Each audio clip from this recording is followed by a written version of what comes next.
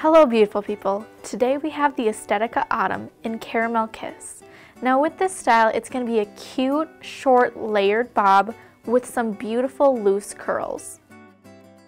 Now this cap features a lace front and a monofilament part.